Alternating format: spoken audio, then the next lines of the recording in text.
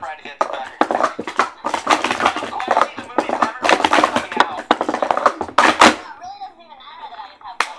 because twice as much.